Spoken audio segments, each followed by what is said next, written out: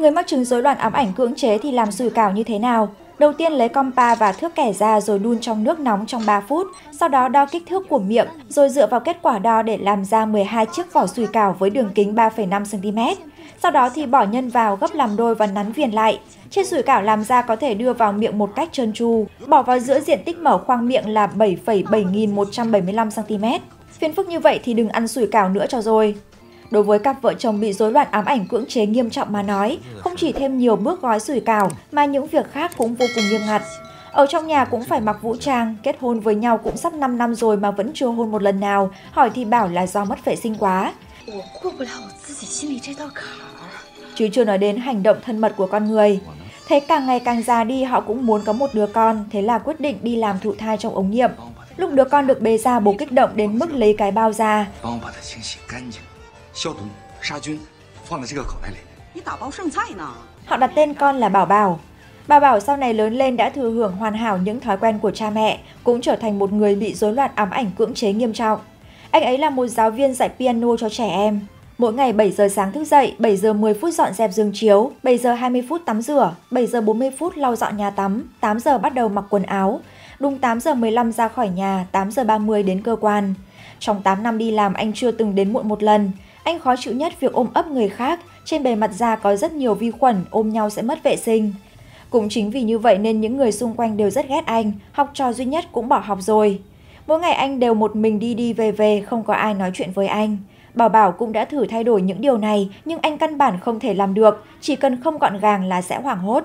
Thế là Bảo Bảo đã nghĩ rất lâu, cuối cùng đưa ra một quyết định, 18 giờ sẽ đến thành phố âm nhạc tự kết thúc cuộc sống đơn độc này.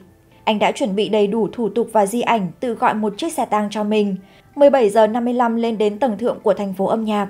Anh vuốt phẳng các nếp nhăn trên áo vest, trải lại tóc mái bị gió thổi loạn xạ. Đến 18 giờ Bảo Bảo nhắm mắt lại, lúc chuẩn bị nhảy từ trên sân thượng xuống thì bị một cô gái túm lấy tóc. Hai người bèn cãi lộn với nhau, đi rút cuộc là chuyện gì? Câu chuyện trở lại hai tiếng trước, Bảo Bảo đang trên đường đi tự sát thì đâm phải xe máy của ôn noãn. Lực đâm khiến anh bay lên không trung. Giữa đồng lá rụng qua lại bảo bảo sử dụng tiềm lực mạnh mẽ của mình tránh xa xít chó và vũng nước bẩn, ổn định đáp xuống hòn đá. Nhưng chiếc xe của ôn noãn thì bị đâm hỏng rồi. Bây giờ cô đang rất vội vàng đi tham gia cuộc thi vua sáng tạo âm nhạc. Thế là đã lấy đi giấy tờ của Bảo Bảo. Thấy kế hoạch tự sát bị làm loạn, Bảo Bảo nhanh chóng lái xe đuổi theo, vừa hay đến nơi ôn noãn biểu diễn.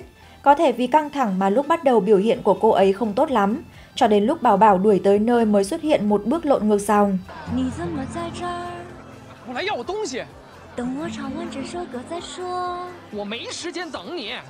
Mọi người tưởng rằng họ đang phối hợp biểu diễn tiểu phẩm âm nhạc, cách làm mới lạ này rất nhanh đã thu hút được sự chú ý của đám đông. Xếp hạng của ôn noãn lập tức tăng vọt, đạt được top 1 trong nhóm đấu. Sau khi thành công vào vòng bán kết, đạo diễn bảo họ chuẩn bị cẩn thận, Ôn noãn nhanh chóng giải thích, anh ta không phải là bạn diễn của tôi, đến vòng bán kết tôi sẽ tự mình tham gia.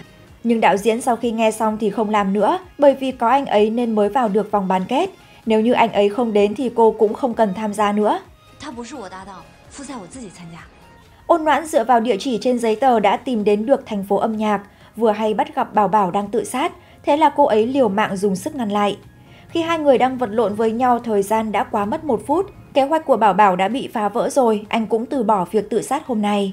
Ôn noãn cho anh xem video tiết mục, trên màn hình đều là những người khen ngợi Bảo Bảo.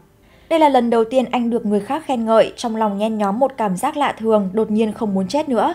Ôn noãn cũng thuận nước mời anh tham gia cuộc thi, Bảo Bảo cũng không dứt khoát từ chối. Lúc này xe tang mà anh gọi đã tới. Tài xế cho rằng mình bị chơi một vố rồi, bèn lái xe tang chuẩn bị rời đi. Nhưng ôn noãn lại ngăn ông lại, nếu ông đã nhận tiền rồi thì đưa chúng tôi về nhà đi. Tài xế đành bất lực đưa theo hai người. Trên đường ôn noãn đã đặt tên cho nhóm của họ là cải tử hoàn sinh. Nhưng trên xe tang chỉ có nhạc đám ma, ôn noãn chỉ có thể lấy điện thoại ra, phát bài ngày tốt lành.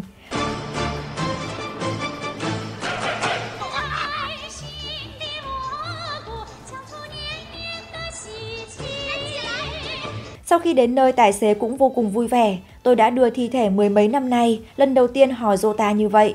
Ngày hôm sau Bảo Bảo đến nhà của ôn noãn cùng thảo luận về bài hát cho bán kết. Nhưng trong nhà quá lộn xộn đồ đạc chất đống khắp nơi, anh nhón chân đi đến rút tờ giấy, cẩn thận ngồi trên sofa, nhưng xung quanh thực sự quá bẩn, Anh không nghe lọt tai nổi câu nào mà âm thầm đeo găng tay lên, không khống chế được mà bắt đầu dọn dẹp. Ôn noãn buồn chán ngủ mất rồi. Tới khi cô tỉnh dậy, ngôi nhà đã hoàn toàn thay đổi hình dạng, sạch sẽ, ngăn nắp, không nhúm bụi trần.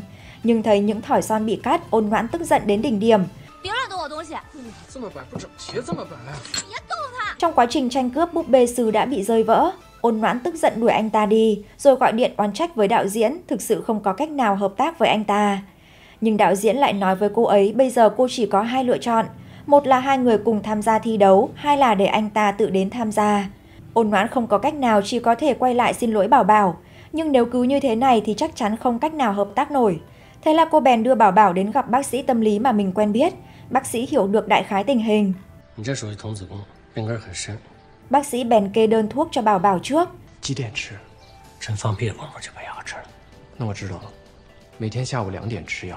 Mỗi tối anh ăn nửa cân đậu nành để dành đến ngày hôm sau thả bom một thể. Mắt thấy sắp đến 14 giờ rồi, dầu thơm của bác sĩ vẫn chưa được châm lên đã bị cái mông của Bảo Bảo đánh úp rồi. Họ nhắc nhác đi ra ngoài. Bác sĩ bảo muốn chữa bệnh cho anh ấy trước tiên phải gỡ bỏ đồng hồ của anh ta xuống. Thế là ôn noãn đi lên phía trước cướp lấy đồng hồ của anh ấy. Bảo Bảo không có đồng hồ đeo tay đến tối khó chịu đến mức không ngủ được. Hôm sau là ngày đầu tiên anh ấy đi muộn. Anh ấy vội vàng chạy đến thành phố âm nhạc, lại được các đồng nghiệp chào đón hoan hô. Ngàn năm có một, đến cả học sinh cũng giơ ngón tay cái lên. Tới khi tan làm Bảo Bảo lại đến bệnh viện tâm thần, anh đã quen được rất nhiều bệnh nhân mới. Một người không có cảm giác an toàn, cô từng là phóng viên hiện trường. Vì đã thấy quá nhiều cảnh thảm họa nên dần dần sinh ra cảm giác khủng hoảng. Lúc nào cũng mang theo bên người đồ vật thiết yếu như bình chữa cháy, bình oxy và dù. Còn có người đổi ba động tác trong một giây, đổi tư thế đến mức không ngừng lại được.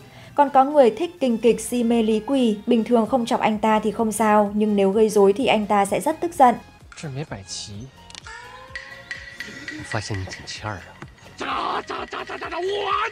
Nơi này lập tức trở nên hỗn loạn, bác sĩ vội vàng ngăn họ lại. Thế là ngày hôm sau ôn noãn và những bệnh nhân khác đưa Bảo Bảo cùng tham gia cuộc thi chạy marathon sắc màu. Để không bị màu ném trúng đến khúc rẽ Bảo Bảo tăng tốc độ nhảy lộn, linh hoạt tránh hết các đòn tấn công, nhận được giải nhất của cuộc thi marathon. Nhưng giải thưởng lại là... thời gian điều trị này đã khiến Bảo Bảo thay đổi không ít, cuối cùng hợp tác giữa hai người cũng đã có thể tiến hành thuận lợi. Ôn noãn vui vẻ mời anh ăn cơm, nhưng Bảo Bảo lại ghét bỏ nói, ruột già là nơi chất bài tiết của động vật đi qua, nối với cửa hậu môn. Lúc này trên TV đang chiếu cuộc phỏng vấn Vương Vệ Nhân. Ông ta là đạo diễn của cuộc thi, cũng là bạn trai cũ của ôn noãn. Cái gọi là bài hát do ông ta sáng tác thực ra là do ôn noãn viết cho.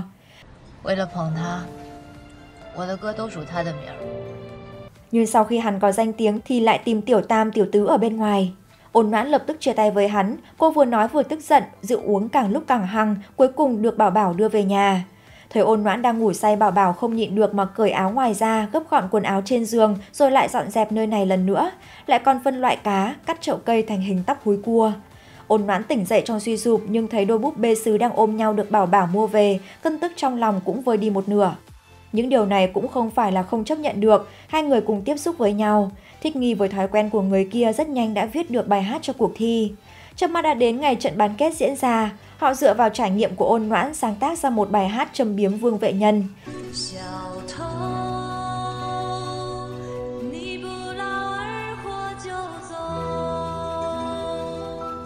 Hắn ta nghe xong thì biến đổi sắc mặt, trột dạ bấm nút không thông qua.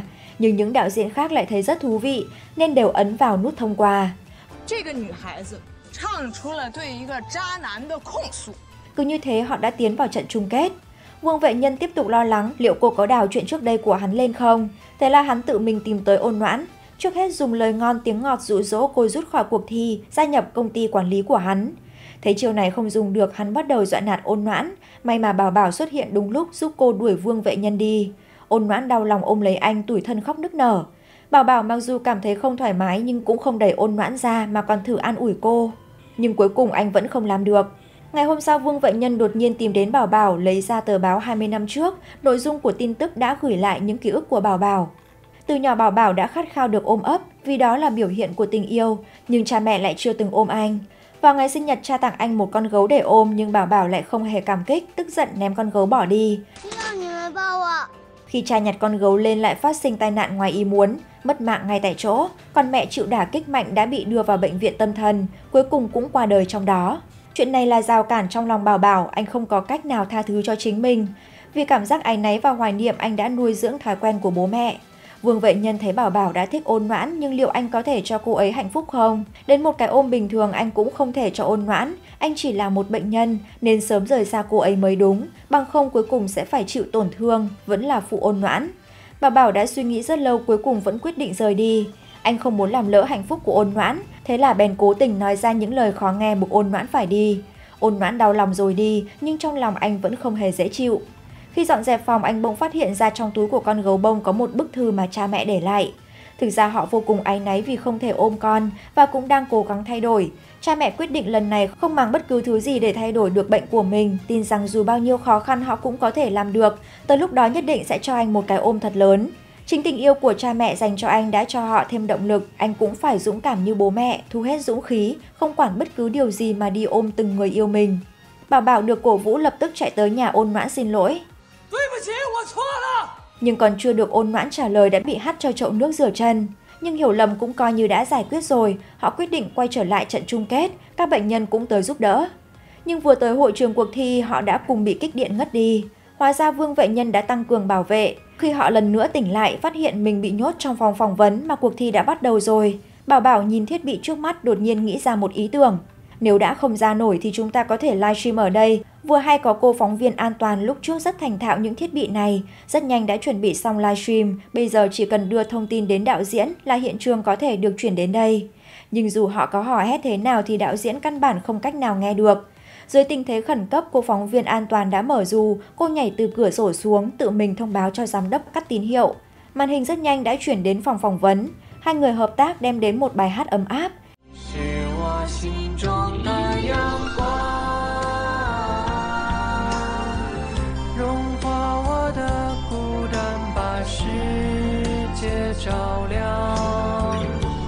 Sau khi bài hát kết thúc, hai người đã giành được vị trí quán quân. Họ cũng đã quyết định được tình cảm của mình. Bà Bảo lấy hết can đảm bước lên phía trước ôm chặt lấy ôn noãn. Bộ phim đến đây là kết thúc. Bộ phim này có tên là Cái ôm ấm áp.